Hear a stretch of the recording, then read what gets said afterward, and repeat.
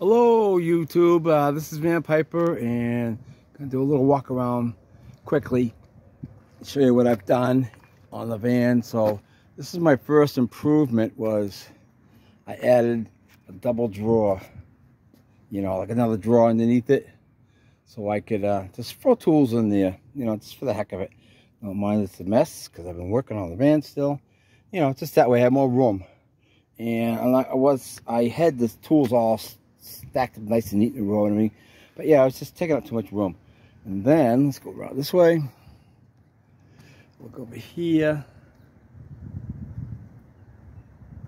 Oh, what the heck is that? Uh-oh, somebody put a window on my van. Wonder who did that. Of course, me. Um, hopefully I don't regret it. It uh, was kind of a pain in the ass. And that comes perfectly. I'll show you what I mean that it sits perfect. It's the right size and everything. And I could not get a custom made window because it would cost me a fortune. And so let's go around to the other side. All right, and this is the inside. Uh, I'm not done yet. I'm going to put some insulating foam and hopefully I can show you that today because uh, I have to be to work today in about two hours. So I'm going to put some foam in there, seal it up a little bit. And then I made a casing for it. Uh, let's see. Here we go. I can show that. Don't mind the mess. There's the casing for the it goes around the window. Oh, I'm gonna have to go slower so you can see better so you're not getting all blurry there, you know. And then I had time because I wanted to get as close as possible to the window. So I had to put, if I can, if you can see it, I had to put a, cut a groove in along here.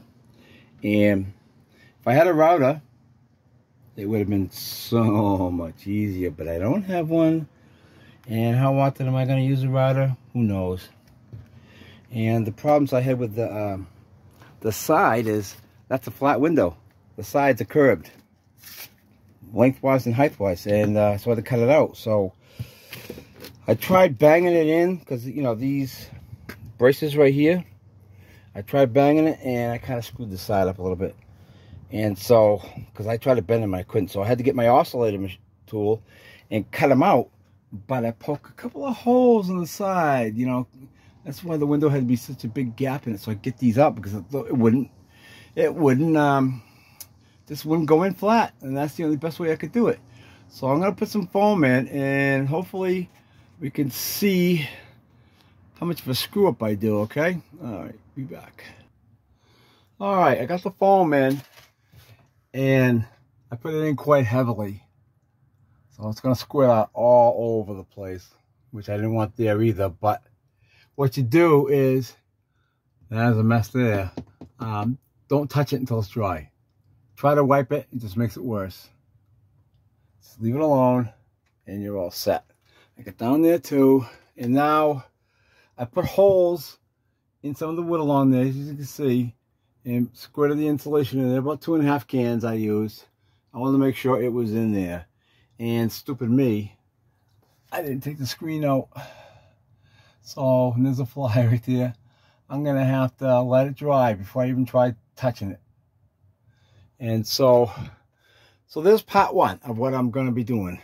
And I show you some more later on. Just a quick um, video before I have to go to work. Hopefully it dries enough. So, all right. We'll see you later, guys. Bye.